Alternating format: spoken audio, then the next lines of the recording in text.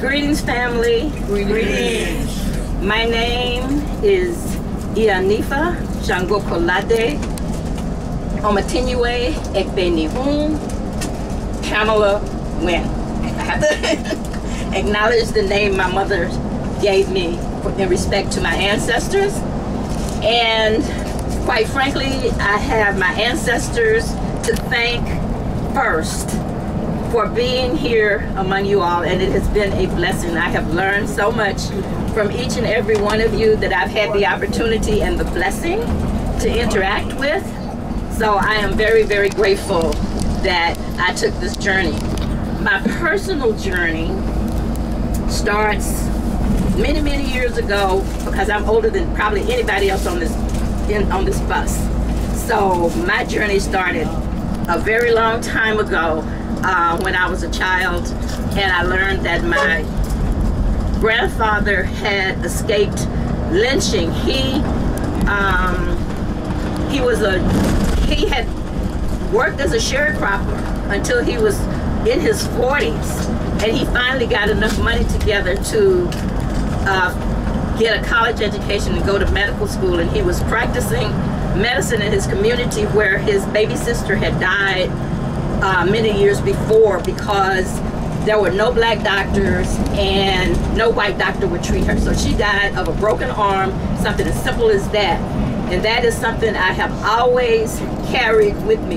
That was what inspired him to actually, after he escaped lynching, his uh, brothers defended him with they armed themselves and defended them from the, him from the lynch mob and he was able to escape to Dallas Texas where he built hospital he built a hospital and a medical center for black people.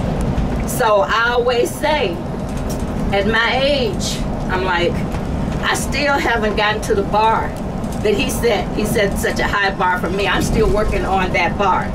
And for my personal mission for about the last 20 years, it has been an African sovereignist mission.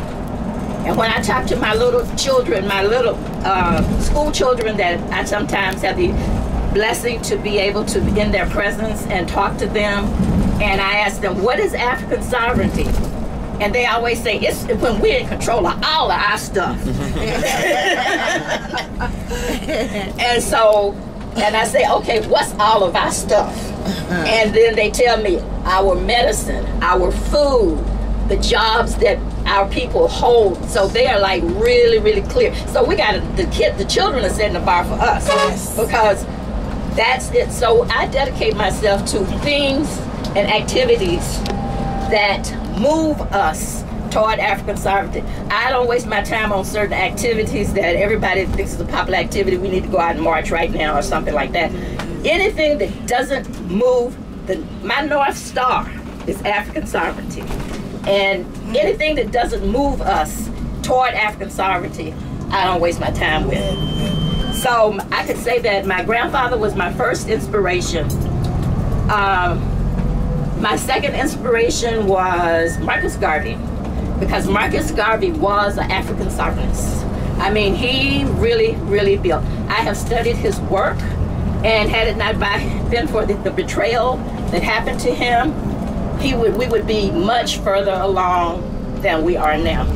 So, as far as inspirations are concerned, and, and who my influences are, and there are many, many others. John Henrik Clarke, you know, not, I can name their long list of Chancellor Williams, but in terms of putting the ideology of African sovereignty to work, the best example on our side of the Atlantic to me was Marcus Garvey.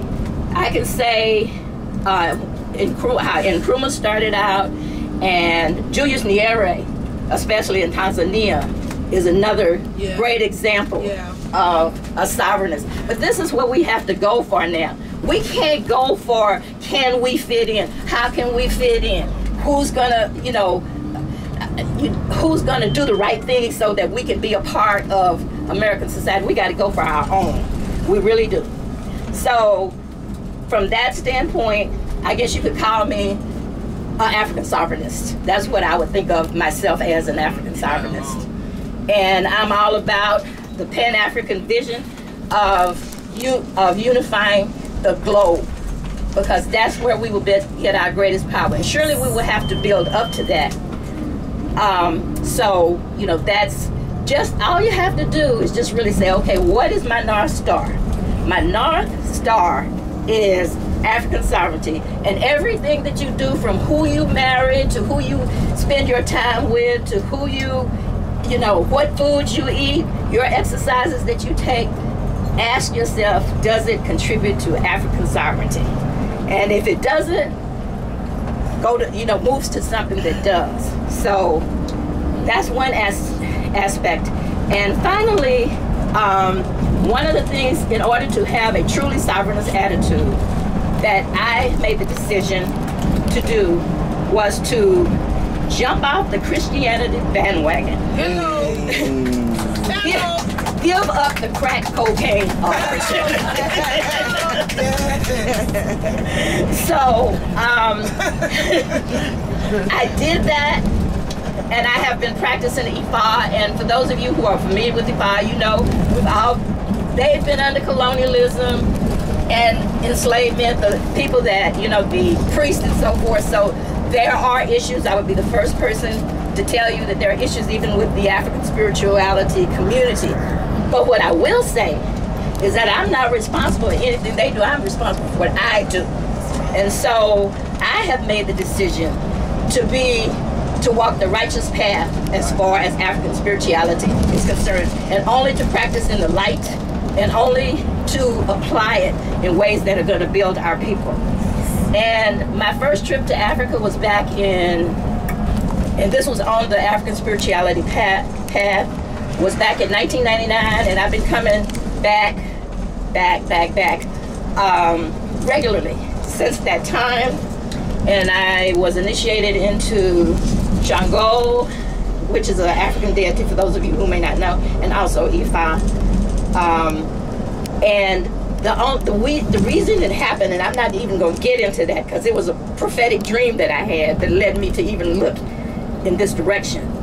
And I, um, and actually, what I did, because at that time I was like broke. I didn't have no money. I didn't know where I was going to get any, but I did have a job, I'll say, but it was a shaky job. And what I did was I set up an altar for my ancestors. I put a few pictures of ancestors that I had pictures of on the altar. I started celebrating them, singing to them, uh, asking for them to help me get home to Africa. And before I knew it, and the, and the other thing I did, the other thing I did, there were days when I only had change in my pocket. And I would put that, whatever change I had, I would put it on the altar. And before I knew it, within a couple of years, I had all the money I needed to make my first trip to Africa.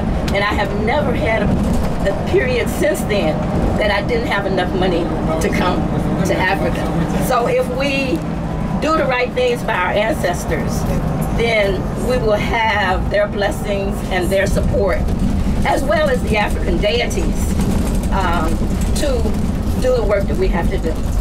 So on that note, I want to thank thank the staff of Africa for the Africans for making it possible for me to make another journey, and uh, and again thank all of you for your openness and kindness and responsiveness on this journey.